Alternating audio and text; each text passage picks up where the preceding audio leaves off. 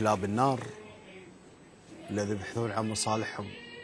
يطلعون الشباب المراهق يصطدم مع رجال الامن وهم يتفاوضون من تحت الطاولة.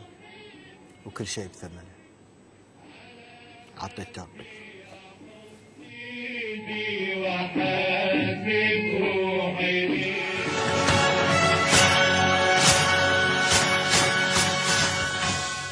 من فقد بعض حقه حال وجود الأمن.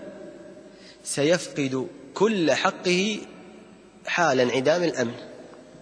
والواقع يشهد. لا أحد يقول غير ذلك. تفقد بعض حقوقك وأنت في أمن وعافية ورخاء. أشعل فتنة لتأخذ الحق الذي تريده. بعض حقك. النتيجة؟ ستقوم فتنة وثورة ومهلكة. سيختلط الناس وستضعف وسيضعف الأمن وربما ينعدم الأمن وتفقد كل حقوقك. عندك مشكلة في حرية الرأي. كما تقول أيها المفكر غدا ستصبح عندك مشكلة في الخبز عندك مشكلة في الوظائف والبطالة. غدا عندك مشكلة في العرض عندك مشكلة في حقك من العلاج والمشاركة السياسية كما يقول بعض الناس. غدا عندك مشكلة في حقن الدم بعض حقك فقدته وأنت في أمن. إذا اهتز الأمن فقدت حقك كله. ولذلك تأمل واقع البلدان التي اشتعلت فيها الفتن. يا إخوان أرادوا مشاركة سياسية أرادوا حرية رأي أرادوا وظائف أرادوا أموال وخيرات أرادوا خدمات. يوم قامت الثورة ترى ما عاد يفكرون في هذا. إيش يفكرون فيه؟ العرض الخبز كهرباء. إيش بعد؟ الوظيفة اللي أنت مستاء من قلة راتبها وقف الراتب خلاص. انت أنت مستاء من مبلغ معين وقفنا عليك يلا. هذه ثورتك. افرح بالثورة. الآن افرح. ولذلك من وصايا ابن عمر رضي الله عنه الزم أمر الجماعة وهي وصية النبي صلى الله عليه وسلم.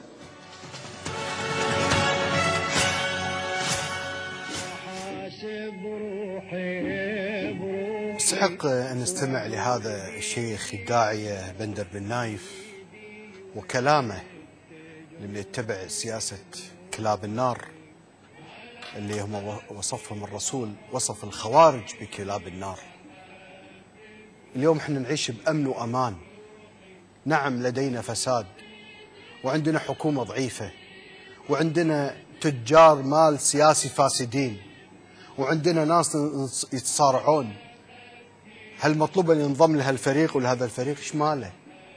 انضموا لفريق حب الكويت وبناء الكويت. هذا الأصل نحافظ على هذا البلد. نتعلم من الرعيل الأول شلون بنوا الكويت. يا ليت تعلمنا منهم شلون عشقهم وهم أيام فقر. كانت النفوس صافية. لكن اليوم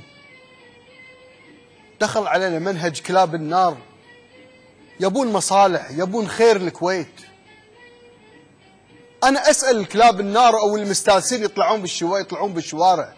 تعتقدون رجال الأمن الحرس الوطني ولا القوات الخاصة ما يقدرون يقبضون عليهم؟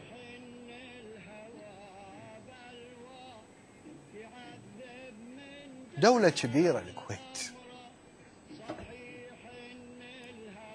تركوهم.